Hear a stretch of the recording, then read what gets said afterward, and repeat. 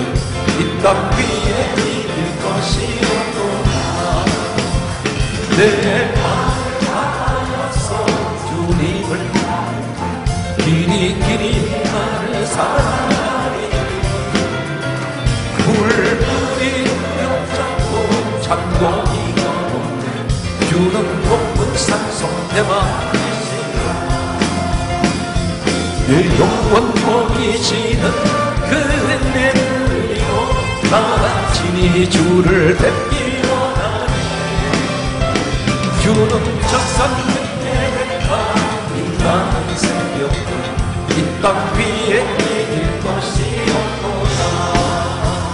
사람을 보며 세상을 볼때 만족함이 없었네. 나의 하나님 그분을 나는 만족하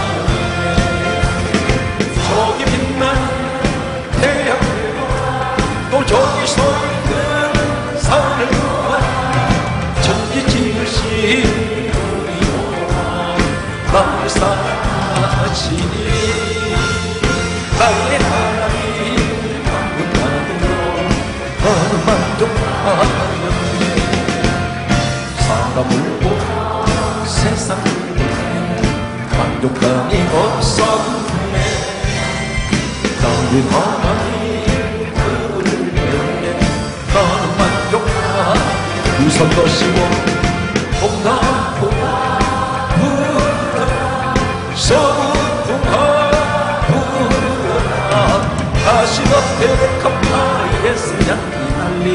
할렐루야 아멘 다시 앞에 컴파이에서 향기 날리니 할렐루야 아멘 사람을 보며 세상을 볼때 만족감이 없었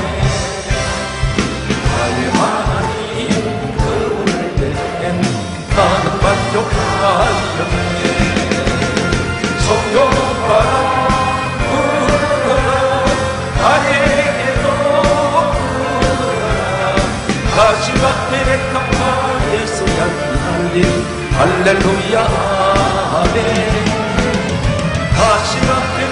향기 날린 할렐루야 아멘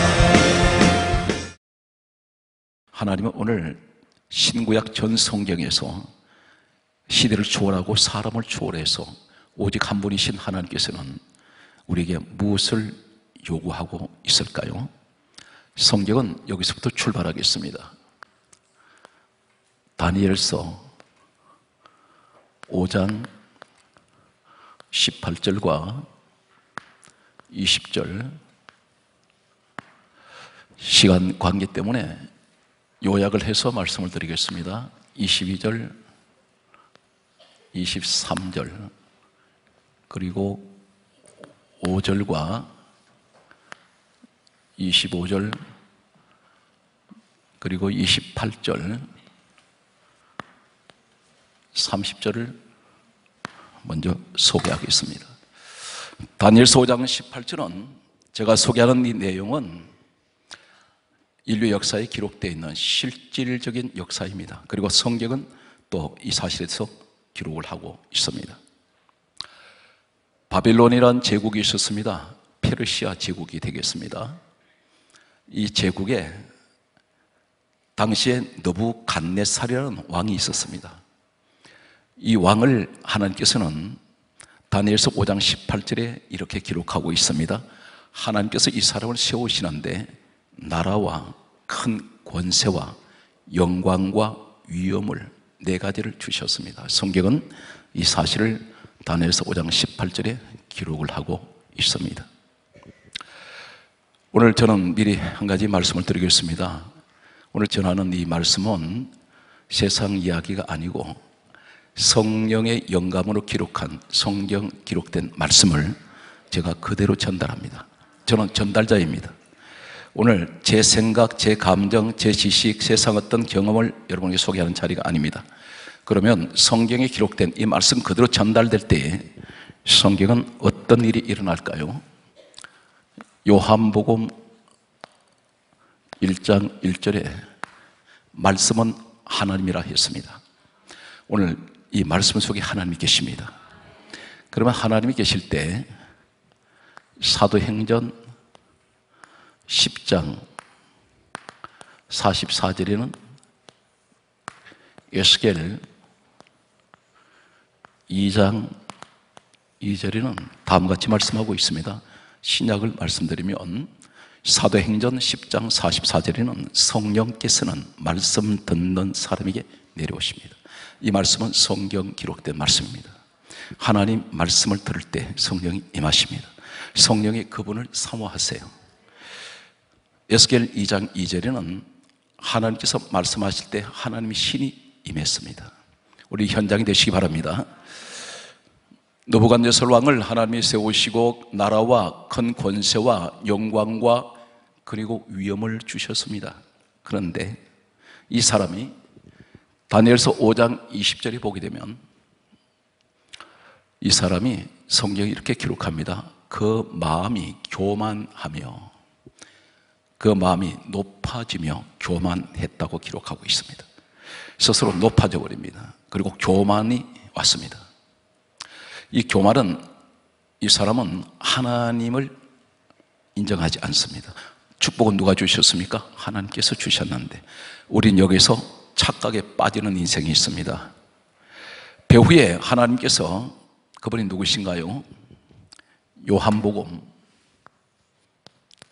4장 23절에서 24절 말씀을 보면 하나님은 영이십니다.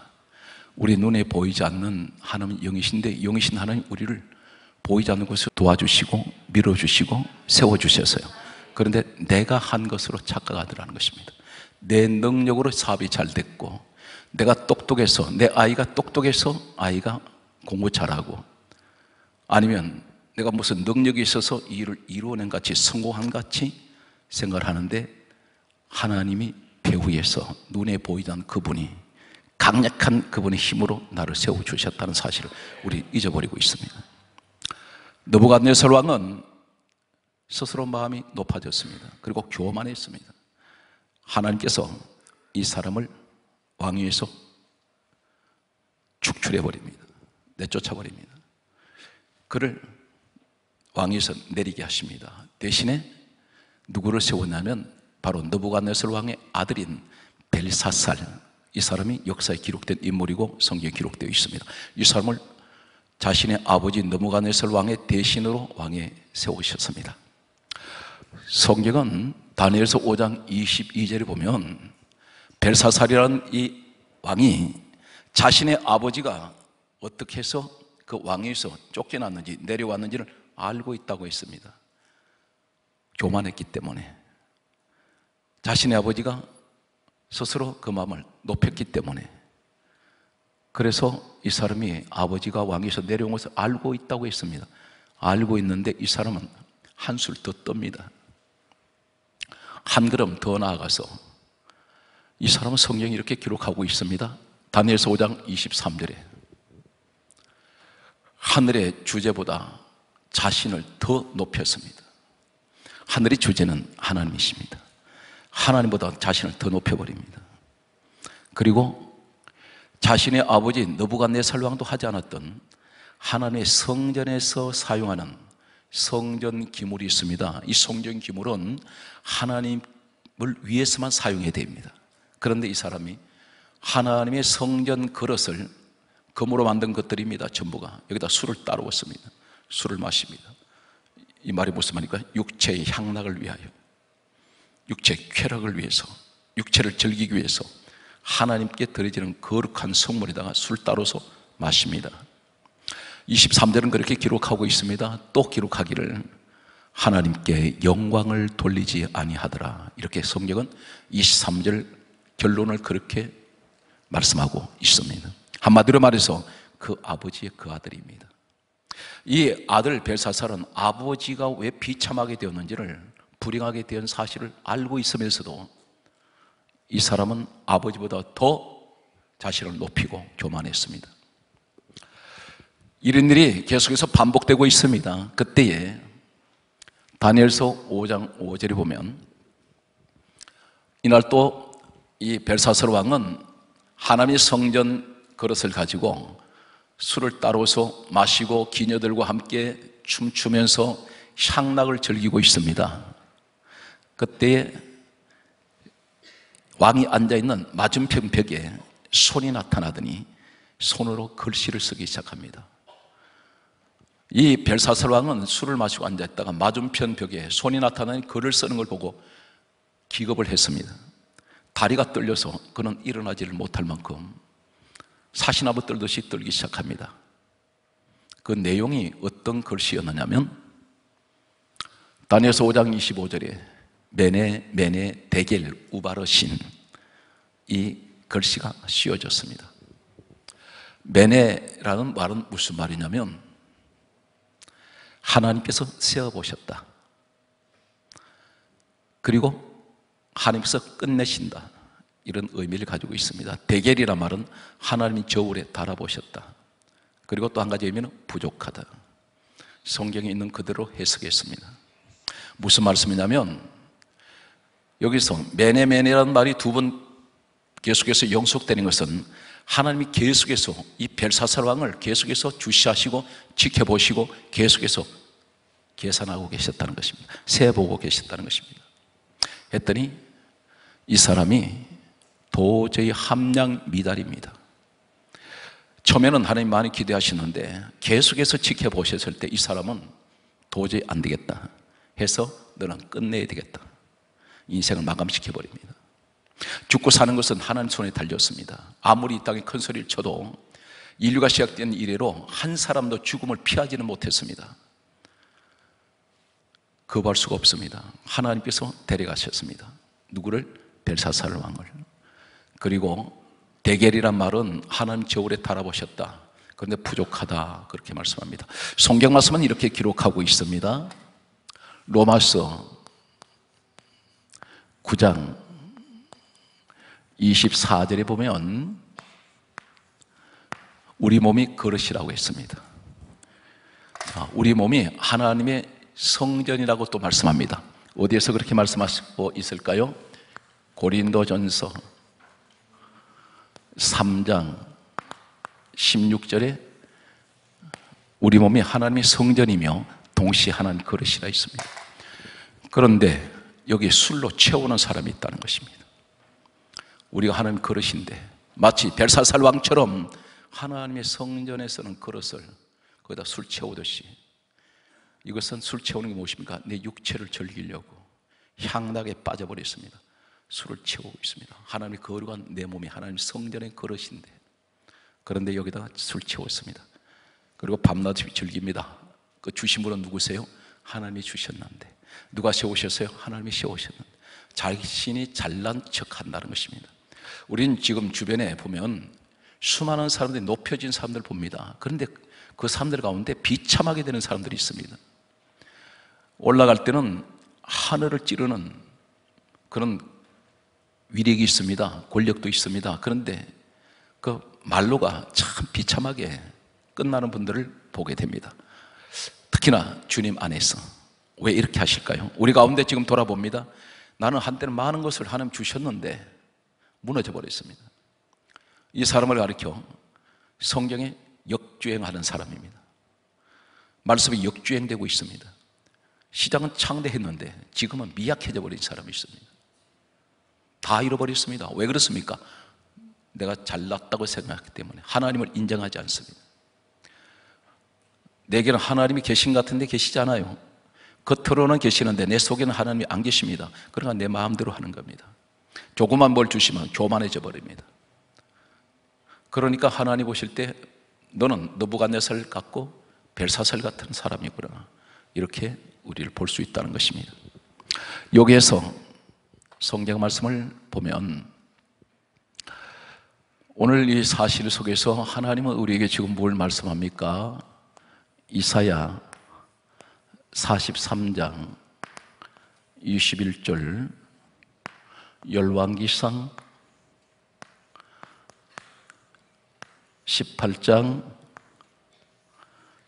36절과 민수기 20장 10절 말씀과 12절 말씀입니다. 어떤 분은 이렇게 말합니다. 목사님 외워서 하시죠. 이게 외워서 되는 것이 아니라 전 세계 원고 다 들여다봅니다. 원고 보고도 잘 못 읽어요. 그런데 제가 외워서 이 설교를 굳이 그렇게 할 필요 없습니다. 성령은 제 속에 성령 와 계세요. 그래서 지금까지 15년 동안 이 말씀을 전할 수가 있습니다. 저는 말씀의 전달자입니다.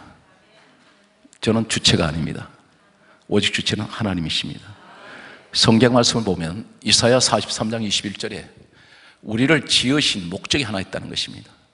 내가 이 백성은 내가 나를 위하여 지었나니 나를 찬송하게 하려 함이라.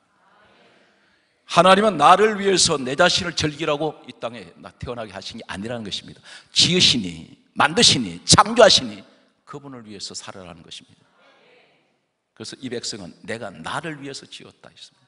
그리고 나를 찬송하기 위하여 찬송은 하나님께 영광 돌리고 살아라. 그런데 우리는 그러지 못하다는 것입니다. 교회 안에서 전부 내 중심입니다. 자기 중심. 그것이 과연 그럴까요? 보세요. 냉정하게 생각하시기 바랍니다. 기도할 때 하나님을 위한 기도는 별로 없습니다. 전부 나를 위한 기도밖에 없습니다.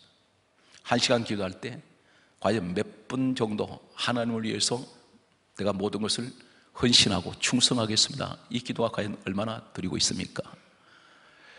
공통적으로 모든 분들의 기도가 전부 육신적입니다. 이것이 기복신앙이라는 것입니다. 전부 나를 위해서 하나님은 내 종이 되어야 되고 하나님 자리에 내가 앉아 있습니다. 받고 앉아 있습니다. 하나님 이렇게 하세요. 안 해주면 시험 들어버립니다. 이것이 우리의 기도라는 사실입니다. 얼마나 잘못됐습니까? 하나님의 영광을 위해서 기도해야 되는데 그렇지가 못하다는 것입니다. 열왕상 18장 36절에 엘리야가 갈매산에서 기도해서 3년 6개월 동안 비 내리지 않던 이스라엘 땅에 비 내린 사건 우리가 잘 알고 있습니다. 교회 몇 년 다니면 엘리야 에 대한 설교 한두 번 다 들었습니다. 그런데 야고보서 5장 17절에 보게 되면 엘리야는 어떤 사람인가요? 야고보서 5장 17절에 보게 되면 엘리야는 우리와 성정이 같은 사람이로되 그가 간절하게 기도한 적 하늘을 닫고 비우지 않게 하고 다시 간절하게 기도한 적 하늘 열고 비를 주셨다. 여기에서 우린 대기가 예, 갈멜산 그러면 아 엘리야가 기도해서 하늘서 하늘문 열고 비 내렸다. 이 엘리야를 주체로 거기다가 주인공으로 내세웁니다. 그런데 엘리야는 정작 그러지가 않아요. 엘리야가 지금 갈멜산에서 기도할 때 하나님 비 내려주세요 그렇게 기도한 내용이 아니고 열왕상 18장 36절에 엘리야의 기도가 첫 번째 내용이 가장 먼저 나오는 내용이 무슨 내용이냐면 하나님 하나님이 누구신지 저들이 알게 해주세요. 그 기도합니다. 비 내리게 해주세요. 하늘을 열어주세요. 불 떨어지게 해주세요. 그 기도를 하지 않았습니다. 첫 번째가 하나님이 누구신지를 저들이 알게 해주시고 내가 주의 종인 것을 알게 해주시고 내가 말씀대로 이렇게 행하는 것을 알게 해주세요 그 내용을 성경은 이야기를 하고 있습니다. 하나님이 누구신지 알게 해주세요. 이 말이 무슨 말입니까? 우리 하나님은 전능하신 하나님, 천지 우주 만물의 주인이신 하나님, 그분의 영광을 위해서 엘리야는 그 기도를 하고 있습니다. 비가 내려지는 것이 목적이 아니라 비를 내리시는 목적은 하나님이 누구신지를 알게 하기 위한 오늘 그것을 말씀하고 있습니다. 성경 말씀을 계속해서 소개합니다.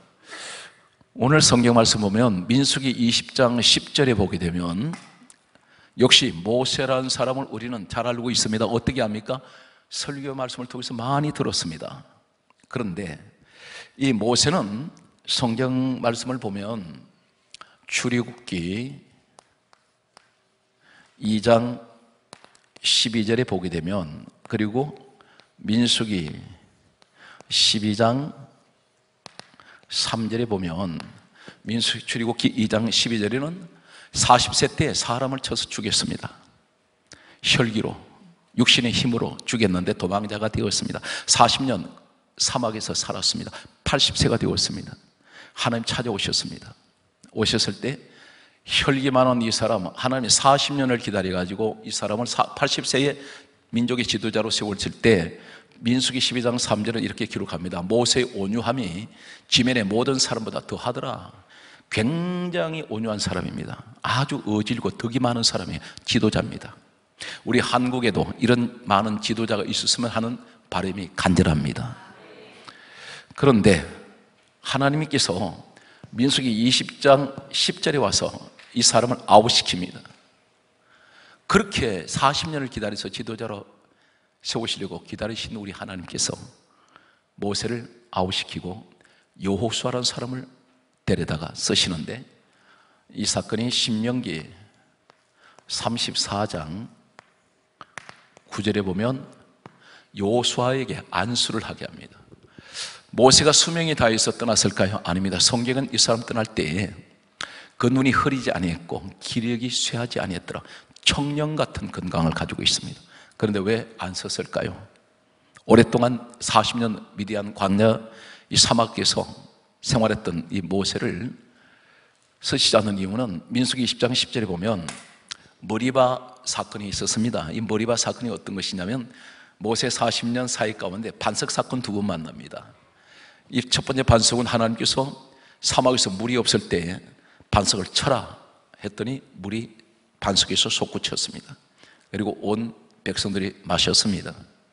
두 번째 사건이 민수기 20장 10절의 이 사건은 반석에게 명하여 물을 내라. 이렇게 말씀하셨는데 모세가 목이 말라 하던 백성들하고 다투었습니다. 다투다 보니 이 사람이 혈기가 났습니다. 그렇게 온유했던 사람이 민수기 20장 10절에 화가 난 나머지 그런 이렇게 말합니다. 우리가 이 반석에서 물을 내랴 이렇게 말합니다. 하나님이 없어져 버렸습니다. 우리가 들어갑니다. 어떻게 모세가 반석에서 생수가 나오게 합니까? 우리 하나님이 나오게 하시죠. 그래서 반석을 지팡이로 두 번 쳐버립니다. 여기서 하나님 말씀하기를 민수기 20장 12절에 이렇게 말씀합니다. 너는 이스라엘 백성들 목전에서 나의 거룩함을 나타내지 아니한 거로 거룩하면 나의 영광을 나타내지 아니한 거로 너는 가나안 땅에 들어갈 수 없다. 여기서 아웃시켜 버립니다. 그렇게 사랑했던 모세입니다. 이 모세가 창세기, 출애굽기, 레위기, 민수기, 신명기 다섯 권의 책을 기록했지요. 그런데 이 사람을 가나안 땅에 못 들어갑니다. 왜 그렇습니까?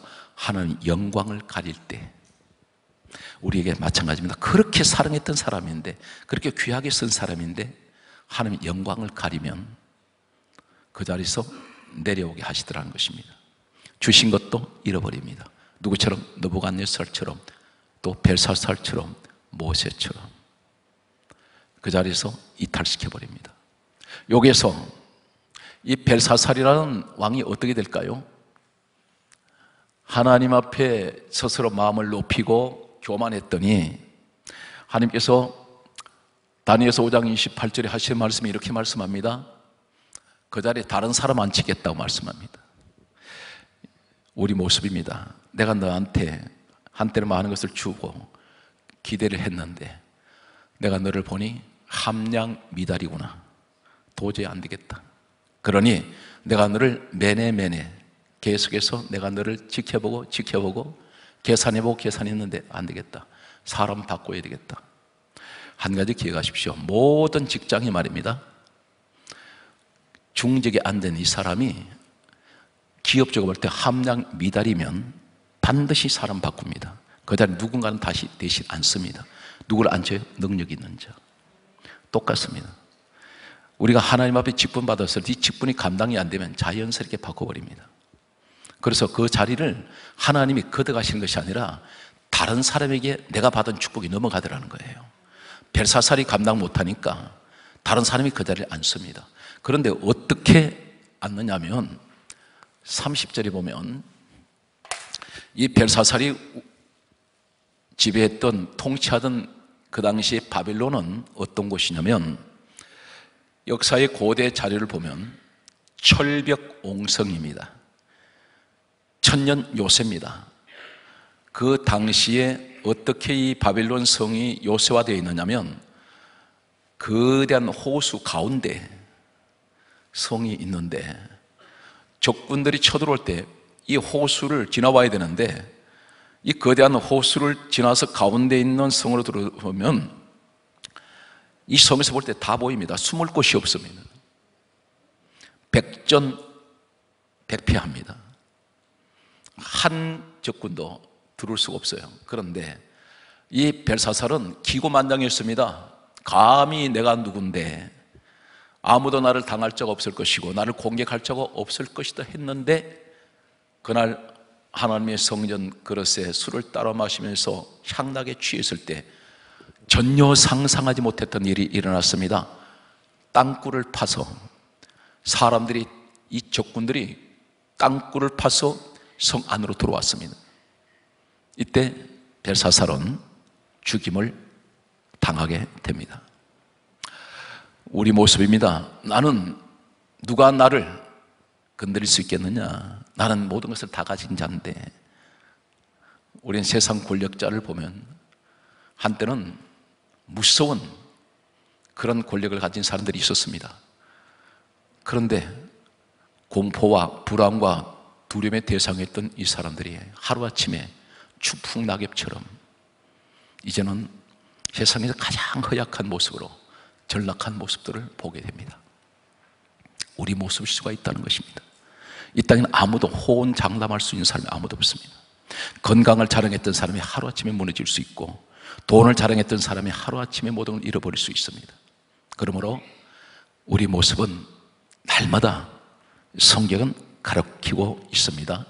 히브리서 12장 2절에 믿음의 주요 예수를 여러분이 되시기를 축복합니다.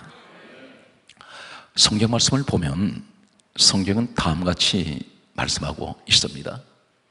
이 모세 시대에 하나님께서 열 가지 재앙을 내리셨습니다. 열 가지 재앙을 내리실 때 한결같은 한 가지 한 가지 재앙이 내릴 때마다 하시는 말씀이 있습니다. 그 말씀이 어떤 말씀이냐면 출애굽기 6장 7절과 그리고 10장 2절 말씀과 출애굽기 14장 4절 말씀 출애굽기 16장 12절 말씀과 출애굽기 31장 13절 말씀이 똑같은 말씀이 반복됩니다. 사건들마다 계속해서 강조하고 또 강조하고 강조하고 또 강조하는 말씀이 너희는 너희 하나님 여호와를 너희는 알지니라. 이 말씀 무슨 말씀입니까? 너희는 너희 하나님 여호와를 알아라. 너희는 너희 하나님 여호와가 어떤 분인지를 내가 알아서 알게 하리라. 이 말씀이 무슨 말씀이면 네가 하나님을 아느냐 그 말씀이에요. 내가 누군지 아느냐. 우리에게 왜 이 말씀을 계속 주시냐면 나는 전능한 하나님이며 나는 누가 인간이 만들어낸 그런 신이 아니야. 오직 나는 스스로 있는 하나님. 이 말씀 무슨 말입니까? 세상의 모든 신들이라는 신들은 인간이 만들어 놓았습니다. 형상 만들어 놓았습니다. 그림 그려 놓았습니다. 우리의 탄으로 만들었습니다. 돌을 깎아 만들었습니다. 나무 깎아 만들었는데 우리 하나님 형상이 없으세요. 그리고 스스로 계신다는 분이 무슨 말입니까? 영원에서 영원까지 누가 만든 그런 신이 아니라는 것입니다. 나 외에 다른 신은 없느니라. 그렇게 단호하게 말씀을 하세요. 그런데 여기서 하시는 말씀은 너희는 너희 하나님 여호와가 누구신지를 너희는 내가 알게 하리라. 계속해서 알라, 알지라, 알리라. 계속해서 이 말씀을 강조하고 있습니다. 사랑하는 성도 여러분, 여러분이 하- 과연 전능하신 우리 하나님 되시는 예수님을 얼마나 아십니까? 성경 말씀을 소개하면 예수님이 누구세요? 빌립보서 2장 6절에 그분은 근본 하나님 본체가 되십니다. 그런데 여러분이 예수님을 다 아는 것 같이 말한 분이 있어요. 하나님 안 계신다. 당신이 어떻게 아세요? 하나님을 전혀 모르잖아요. 예수님이 누구신지. 우리가 사람을 사귈 때에 남편을 아내를 만났을 때 만나자마자 바로 결혼하지 않습니다. 충분히 이 사람에 대해서 내가 알아야 됩니다. 그리고 해서는 어떻게 됩니까? 한 번 만났다 해서 이번 다 알지 못합니다. 계속되는 교제, 계속되는 만남을 통해서 이분에 대해서 하나하나를 알게 된다는 사실입니다. 마찬가지로 하나님이 누구신지를 하나님이 한꺼번에 우리는 알 수 없습니다. 하나님께서 열 가지 재앙을 보이신 것은 그때 그때 그 사건을 통해서 아 하나님은 이런 분이시구나 하는 것을 우리가 점점 점점 그분을 알게 되더라는 것입니다. 이해가 되십니까? 그래서 성경은 계속해서 이 말씀을 하고 있습니다. 똑같은 말씀을 반복합니다. 여기서 또 중요한 사건은 하나님이 나를 구원하셨습니다. 이스라엘 백성들을 소개합니다. 이스라엘 백성들은 출애굽기 이 사람들이 430년 노예 생활에서 그들이 해방이 될 때 어떻게 해방되었습니까? 하나님이 출애굽기 12장 13절에 6월절 날 양을 잡아 그 피를 문설주 문이방에 발라라. 그리고 하신 말씀에 내가 피를 볼 때 너희를 넘어가리니 재앙이 너희에게 내려 멸하지 아니하리라. 하나님의 관심이 피에 있습니다. 근데 6월절 양이라고 하는 이 양의 피가 발라지면 하나님 그 피를 보시고 다 구원을 하세요. 그런데 신약이 와서 이 6월절 양을 가리켜 고린도전서 5장 7절에는 6월절 양은 우리 예수 그리스도라고 말씀합니다. 시대는 다르고 사람은 다르고 장소는 다른데 예굽에서 노예 생활하던 이스라엘 백성들이 출애굽된 것은 6월절 어린 양이 죽고 그 피를 문설지 모니방에 바른 사건으로 이 사람은 출애굽이 되었습니다. 구원받았단 말입니다. 우리는 예수 그리스도 6월절 양 되시는 예수 그리스도를 말미암아 그분이 십자가에 죽으심으로 우리는 구원을 받았습니다. 예수 피로 죄 사함 받았습니다. 그런데 중요한 사실은 나왔는데 하나님이 우리를 구원하시는 이유가 무엇이냐 말입니다. 우리는 단순하게 아, 죄인 된 내가 예수 그리스도를 말미암아 나는 구원을 받았습니다. 성경 강조한 대로 유명한 선언이 요한 1서 1장 7절에 예수의 피가 우리를 모든 죄에서 깨끗하게 하셨습니다. 그러면 나 구원받았습니다. 하나님을 찬양합니다. 이것으로 끝났습니까? 이제부터라는 사실입니다. 내가 구원을 받았는데 하나님 뭐라 그러세요? 오늘 시대는 다르고 장소는 다르고 사람은 달라도 사건은 영적으로 똑같습니다. 하나님이 우리를 구원하시고 그들을 구원하셨는데 어떻게 6월절 양으로 그들을 구원하시고 우리는 예수 그리스도 피로 예수님 십자가 죽으심으로 6월절 양 대신 예수님을 말미암아 구원받았는데 이때 하나님이 그들을 어디로 불러내십니까? 성경은 이렇게 강조하고 있습니다. 출애굽기 7장 16절과 8장 1절과 8장 20절과 9장 1절과 9장 13절과 그리고 출애굽기 10장 3절 고린도전서 2장 2절 말씀과 로마서 14장 8절과 빌립보서 1장 20절 말씀을 소개합니다. 출애굽기 7장 16절에 이렇게 말씀합니다. 내 백성을 보내라. 그들이 광야에서 나를 섬길 것이니라. 하나님 말씀하세요. 내 백성을 보내. 왜 보내라 말씀합니까? 광야에서 나 섬기기 위해서 하나님을 섬기기 위해서 그들을 불러내셨습니다. 이 광야가 어디예요? 모세가 그려갔던 40년 광야는 사도행전 7장 37절에서 38절에 광야는 교회라고 말씀합니다. 오늘 영적으로 똑같습니다. 교회로 불러내셨어요. 뭐 하려고? 하나님 섬겨라. 이것이 하나님 영광 돌리라는 것입니다. 너 자신을 섬기지 말고 예배가 너 자신을 위한 예배가 되지 말고 하나님을 위해서 드리는 예배가 되어라. 이해가 됩니까? 그러면 사실 말씀이 8장 1절에도 내 백성을 보내라 그들이 나를 섬길 것이니라. 8장 20절에도 내 백성을 보내라 그들이 나를 섬길 것이니라. 9장 1절에도 내 백성을 보내라 그들이 나를 섬길 것이니라. 9장 13절에도 내 백성을 보내라 그들이 나를 섬길 것이니라. 10장 3절에도 내 백성을 보내라 그들이 나를 섬길 것이니라. 계속 강조합니다. 오늘 성도 여러분 하나님 섬기고 계십니까? 우리가 예물 드리는 것 이건 누구를 위한 예물이 아니에요. 오로지 하나님 섬기기 위해서 여러분 교회 봉사 사람 보고 하는 거지만 그러나 결국은 하나님을 위한 봉사입니다. 다 그분께 영광 돌리는 것입니다. 성경 강조하고 있습니다. 그렇다면 바울의 고백은 어떻습니까? 예수님 이 땅에 오신 2000년 역사 속에 가장 위대한 한 사람의 종은 바울입니다. 이 바울은 어떤 사람입니까? 고린도전서 2장 2절에 이렇게 고백합니다. 내가 예수 그리스도와 그가 십자가에 못 박히신 것 외에는 나는 아무것도 알지 않기로 작정했습니다. 교회 생활에 오로지 나는 예수님만 바라봅니다. 그리고 십자가에 죽으신 것만 나는 생각하고 아무것도 알고 싶지 않습니다. 여러분 교회 안에 들어가지고 이것저것 자꾸 간섭하시고 눈 살펴보시면 시험 와요. 교회는 오로지 예수님만 보세요. 하나님과 내 관계가 이루어져야 됩니다. 성경 강조합니다. 로마서 14장 8절에 바울이 계속해서 고백합니다. 내가 살아도 주를 위하여 살고 죽어도 주를 위하여 죽나니 그러므로 내가 사나 죽으나 내가 다 주의 것이로다 주님만을 위해서 살겠다는 것입니다. 이것이 하나님께 바쳐지는 귀한 성김이요 영광을 하나님께 돌리는 것입니다. 계속해서 빌립보서 1장 20절은 이렇게 고백합니다. 바울이 고백합니다. 내가 살든지 죽든지 내 몸에 예수 그리스도께서 존귀케 되게 하려 하심이라 내가 살든지 죽든지 내 몸을 통해서 예수님 존귀하게 되게 하여 주세요. 이 말이 무슨 말입니까? 욕설적으로 말씀드리면 내 생활이 가난하든지 부요하든지 때로 내가 몸이 아파서 기력이 쇠하든지 아니면 내가 건강하든지 환경에 상관없이 항상 내가 어떤 것에 처하든지 하나님 영광만 나타나는 예수님만 존귀하게 해주세요. 오늘 이 고백이 여러분 고백이 되시기를 축복합니다. 오늘 성경 말씀은 계속해서 그러므로 이제 말씀을 정리하겠습니다. 그러면 어떻게 하면 하나님께 영광을 돌릴 수가 있을까요?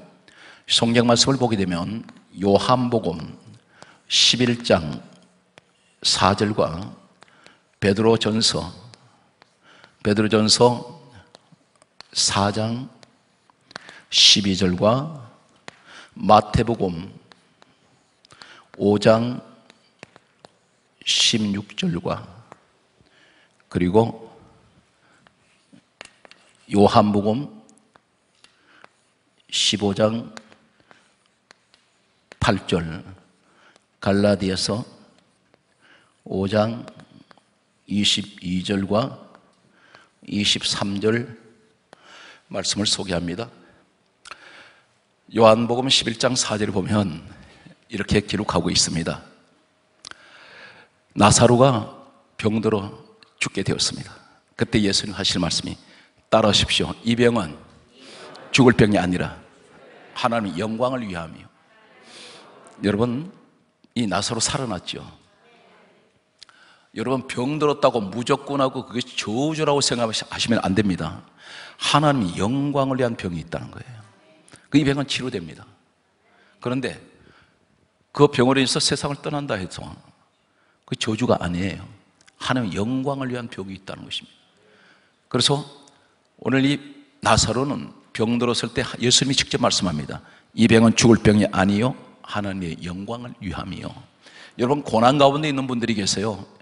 인생을 살면 수많은 고난이 옵니다. 그런데 그 고난을 당하는 것이 나한테는 저주라고 생각하는 분이 있습니다. 왜 내게 이런 저주가 왔을까? 고난이 왔을까? 이렇게 말한 분이 있는데 성경을 정확히 예수 그리스도 안에 있어. 예수 그리스도를 말미암아 죄 사함 받은 성도가 받는 이 고난이 어떤 것인가요? 베드로전서 4장 12절에 이렇게 말씀합니다. 사랑하는 자들아 너희를 연단하려고 오는 불시험을 이상한 일 당하지 이상히 여기지 말고 그래서 고난에 참여하는 것을 즐거워하라 따라서 하나님의 영광의 영이 너희 위에 와 계심이라. 불시험 같은 이 고난 가운데 있는 나에게 하나님 영광의 영이 와 계세요. 하나님 영광이 내게 임한다는 것입니다. 어떤 사람에게 그 불시험 같은 고난이 있는 사람한테 예수 그리스도 안에 있는 사람은 이런 고난이 오더라도 하나님 영광이 여러분과 함께 하십니다. 성경은 계속해서 마태복음 5장 16절에 이렇게 말씀하고 있습니다. 너희 빛을 사람들 앞에 비추게 해서 그들로 너희 착한 행실을 그들이 보고 하늘에 계신 너희 아버지께 영광을 돌리게 해라. 이 말씀 무슨 말씀입니까? 우리는 생명의 빛 되시는 예수님을 나는 영접했습니다. 내게는 생명의 빛이 있습니다. 그런데 이 빛을 사람들에게 비치게 해서 내가 그들로 인해서 내가 착한 행실을 그 사람들이 나를 보고 오히려 나를 칭찬하는 것이 아니라 하늘에 계신 우리 하나님 아버지께 영광을 돌리게 된다는 것이에요. 이 말이 무슨 말이냐면 사람들이 나를 볼 때에 저 사람 정말 예수 믿는 사람답구나. 참 저 사람 보면 우리가 배울 점이 많아. 저 사람 정말 진실한 사람이구나. 그럴 때 뭐라고 말하는지 아십니까? 저분이 믿는 그 하나님은 정말 참 하나님이다. 그분께 영광 돌리게 한다는 거예요.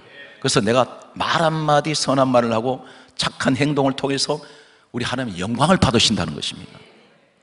반대로 얘기하면 내가 세상 사람들 손가락질 받을 때 하나님 영광 다 가려버립니다. 우리 모습은 생명의 빛이 내게 있다면 착한 행실이 나타나야 됩니다. 그것을 보고 그랬습니다. 사람의 나를 볼 때 은혜를 받는 이런 사람 되시기를 축복합니다. 성경 말씀을 보게 되면 요한복음 15장 8절에 예수님께서 이렇게 말씀합니다. 열매를 많이 맺으면 내 아버지께서 영광을 받으실 것이요. 너는 내 제자가 되리라. 열매를 많이 맺어야 됩니다. 그 열매가 어떤 것인가요? 갈라디아 5장 22절, 23절에 그 열매는 성령의 아홉 가지 열매입니다. 사랑, 희락, 화평, 오래 참음, 자비, 양선, 충성, 온유, 절제. 사랑의 열매를 맺으세요. 어디에? 여러분 가정부터. 성경은 우리에게 가르치는 말씀이 있습니다. 고린도 전서, 고린도 전서 6장 20절 말씀은 따라하십시오. 너희 몸을 하나님께 영광으로 돌려라. 내 몸을 가지고 하나님께 영광 돌리래요. 이 말이 무슨 말입니까? 주님 일을 내가 할 때 한 영광 받으세요. 오늘 찬양대가 하나님께 영광 돌립니다. 이 자리가 이분들이 바로 하나님 우리 몸으로 하나님께 영광 돌리고 예배 자리는 세상 자리가 아니지 않습니까? 여러분이 예배 자리는 하나님께 영광 돌리는 자리입니다. 이해가 되십니까? 성경 분명히 말씀하기를 요한복음 4장 23절에서 24절에 아버지께서는 자기에게 자기에게 자기에게 예배하는 자를 찾으신다. 나 자신을 위해서 예배하는 게 아니에요. 하나님을 위하여 예배하는 자를 찾으십니다. 성경 말씀을 계속해서 보면 고린도 전서 10장 31절에 보게 되면 먹든지 마시든지 무엇을 하든지 다 하나님 영광을 위해서 하라. 그 음식을 우리가 한 점을 먹더라도 내가 주의 영광을 위해서 나는 건강해야 된다는 것입니다. 고린도 후서 1장 20절에 보게 되면 아멘은 하나님께 영광 돌리는 것입니다. 얼마 그래서 여러분 아멘 하면 하면 영광 받으세요. 아멘이 뭡니까? 예. 긍정적입니다. 저는 이 말씀이 틀림없는 말씀을 믿습니다. 그 뜻이. 그런데 이 아멘이 또 한 가지 놀라운 비밀이 있습니다. 요한계시록 3장 14절에 보면 성경은 이렇게 말씀합니다. 아멘이시여, 충성이시여, 참된 정인이시여, 하나님의 창조의 근본이신 그이가 가라사대 이렇게 말씀하세요. 아멘은 예수님의 다른 이름이에요. 아멘 하면 예수 이름을 부르는 자는 구원을 얻으리로다. 따라서요. 아멘은 예수님을 부르는 소리입니다. 그래서 아멘은 하나님께 영광 돌리는 거예요. 그 다음에 말씀을 보면 고린도 후서 4장 15절에 보게 되면 따라서요. 감사는 하나님께 영광 돌리는 것입니다. 감사로 하나님께 영광을 돌리라 그러셨어요. 9장 13절에 보게 되면 우리가 드리는 헌금이 있습니다. 후한 연보로 하나님께 영광을 돌리느니라. 성도가 힘들게 어렵게 예물을 드렸습니다. 그런데 하나님이 그 영광 받으셨다는 거예요. 우리 교회가 여기까지 온 것은 성도리 이심전심으로 우리 교회는 개미 군단입니다. 큰 부자도 안 계세요. 그런데도 큰 일은 다 하고 있습니다. 우리 성도들이 뒤에서 그만큼 기도하고 들어지는 거 헌금은 하늘의 작은 미랄이 백배로 결실 맺듯이 많은 일을 하고 있습니다. 쉽지 않는 일이 어떤 것인지 아세요? 약 500군데가 넘는 곳에 우리가 성교도 하고 구제도 하고 있습니다. 이것은 상상을 초월한 일입니다. 누가 하게 하세요? 하나님께서. 그 배경에 누가 있습니까? 여러분이 계신단 말이에요. 계시록 16장 8절에서 9절 말씀이 있습니다. 불 속으로 들어가는 사람이 있어요. 하나님께서 훗날에 이 땅 떠날 때 불 속으로 집어넣는 자가 있습니다. 이 사망 가운데 들어가는데 불로 태워버립니다. 그런데 그 사람들이 세 가지로 나와요. 성경은 계시록 16장 8절에서 9절 보면 첫 번째가 하나님의 이름을 비방하는 자. 그것이 어딘지 아세요? 사도행전 20장 28절에 교회는 하나님의 피값으로 세웠습니다. 교회는 하나님 이름이 있는 곳이에요. 그분이 예수예요. 그런데 비방하는 자. 그리고 또 한 가지는 회개하지 않는 자. 세 번째가 주님께 영광을 돌리지 않는 자는 불 속으로 들어갑니다. 오늘 여기에 그 말씀을 하고 계세요. 그럼 마지막 결론의 말씀은 오늘 이 말씀이 마사키입니다. 말씀의 결론은 하늘에 있는 자들이나 땅에 있는 자들이나 땅 아래에 있는 모든 자의 무릎을 예수님 앞에 꿇을 때 하나님께서 영광을 받으세요. 주님 앞에 무릎 꿇는 자, 겸손한 자입니다. 이 사람은 하나님께 영광을 돌리게 됩니다.